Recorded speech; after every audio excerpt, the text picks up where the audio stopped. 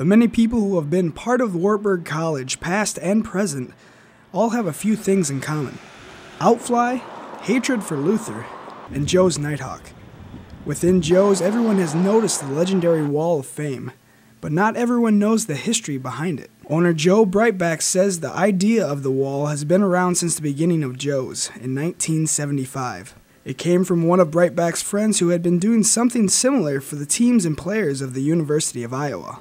To get started, Breitbach received help from Wartburg's Director of Public Information at the time, Dwayne Schrader. Schrader gathered information about all of Wartburg's athletic All Americans from the archives, taking the wall all the way back to the early 1950s.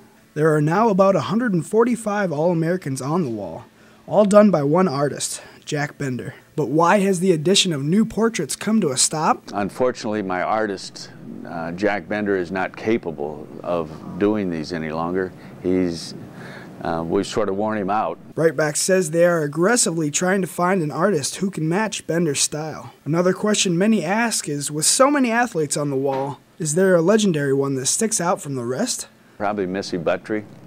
Missy, by far, was uh, head and shoulders above a lot of people. Buttry was an 11-time All-American and a three-time NCAA Division III cross-country champion at Wartburg, who went on to be part of the 2005 U.S. World Cross Country Squad.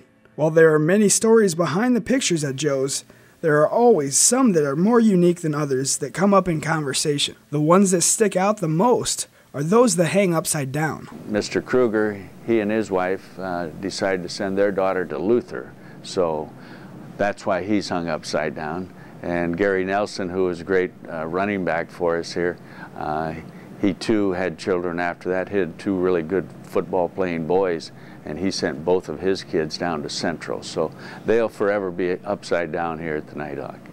There is a wide range of athletes on the wall, with one father and son pair, several sibling pairs, even Wartburg's first national champion in any sport.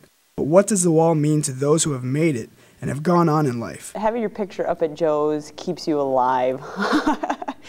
uh, you never forget uh, the experiences because people always remind you. Coach Norton says that for those who haven't made the wall yet, it's there to motivate and remind them as well. It's a great opportunity for people to continue to live um, through their dreams and through the dreams of others uh, to see what's going on over there.